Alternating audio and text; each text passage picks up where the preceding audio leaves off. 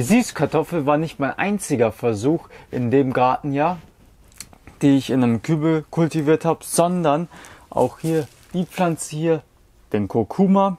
Und den möchte ich heute auch mit euch gerne ernten und schauen, ja, welche Knollen sich dabei gebildet haben.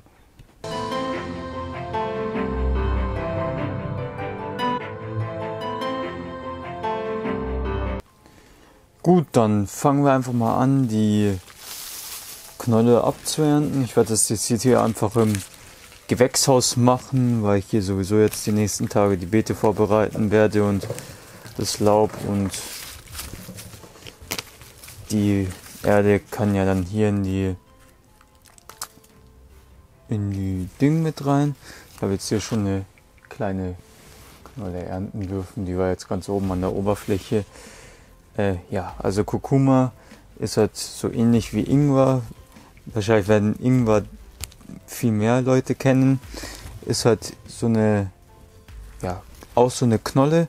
Braucht genauso lange Kulturzeit, normalerweise 10 Monate. Und die habe ich von einem Freund hier, also der regionale Urproduzent, von dem erzähle ich ja ab und zu mal, der mir die Fläche vermittelt hat. Der hat halt von er halt Bio-Ingwer zum Keimen gebracht und ich habe halt von ihm jetzt den Samen genommen, beziehungsweise nicht den Samen, sondern einfach so eine Jungpflanze von ihm bekommen im Februar. Hab die jetzt die ganzen Sommer draußen stehen lassen. Mögen es warm, aber nicht in der vollen Sonne, Ingwer oder Kurkuma. Also Ingwer habe ich zum Beispiel in Costa Rica auf der Farm wurde das angebaut und da war es halt im Halbschatten, hat sogar angefangen zu blühen. Und wie gesagt, es braucht eine recht lange Kulturzeit. Kann man dann noch mal ins Gewächshaus oder so tun, habe ich jetzt auch gemacht. Könnte man vielleicht noch ein bisschen länger warten. Die Wurzeln schauen auch recht interessant aus. Ja, ein bisschen zeigen die untersten Wurzeln hier. Und dann schauen wir mal, was, man, was wir hier so alles finden. Ob hier überhaupt irgendwas ist. Also momentan eher weniger.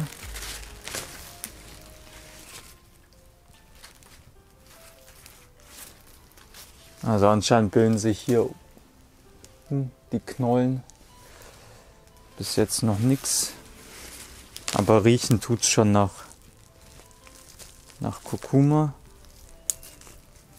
Ja, es sind so ganz, ganz kleine Knöllchen, die sich hier so gebildet haben. Also glaube, die Ernte der Pflanze ist vielleicht der Topf nicht ganz groß gewesen, oder?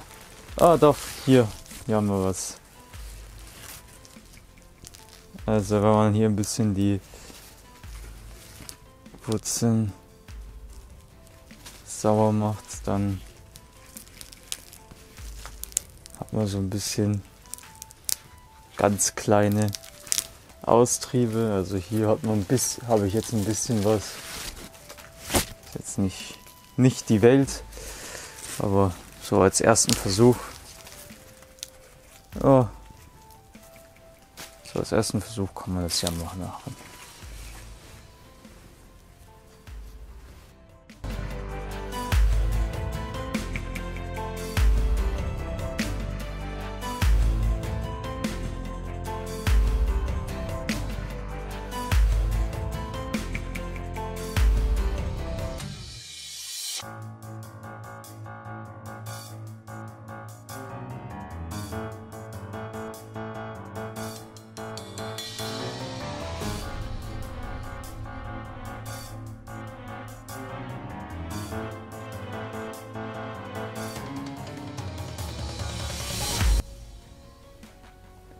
So, das sind jetzt die Kurkuma-Wurzeln.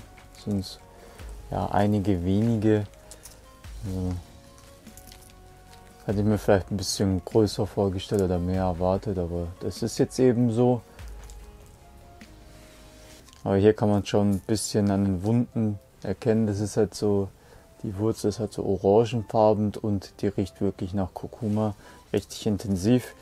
Kommt ja, glaube ich, wird in Indien sehr sehr gerne genutzt.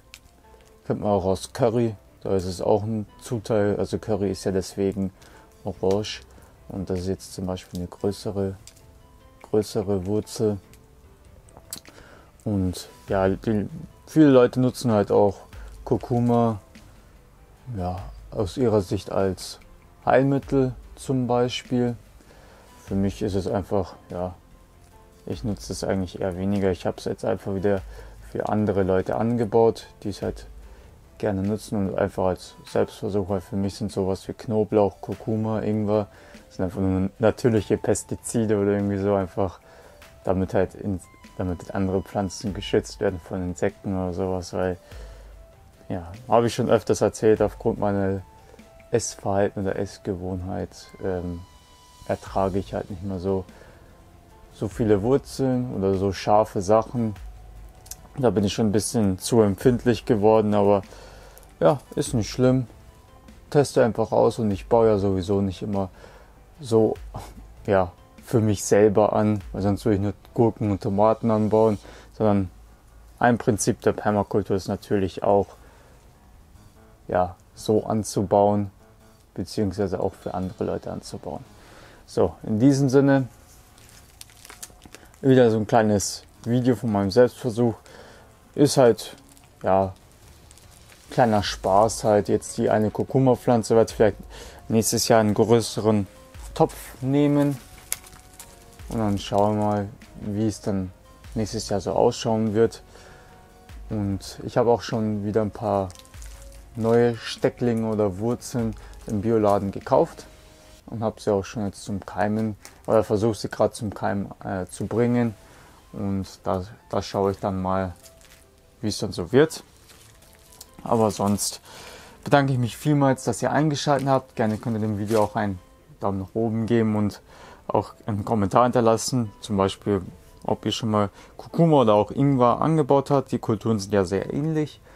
Und sonst freue ich mich natürlich auch, wenn ihr Freunden, Bekannten und Familie von mir und meinem Projekt erzählt, damit halt immer mehr Leute auf mich aufmerksam werden, damit ich weiterhin das Projekt fortführen kann. Und natürlich findet ihr auch Unterstützungsmöglichkeiten unten auf der in der Videobeschreibung, nicht auf der Videobeschreibung und natürlich auf meiner Webseite.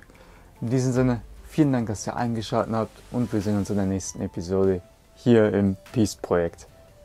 Bis dahin, Ciao.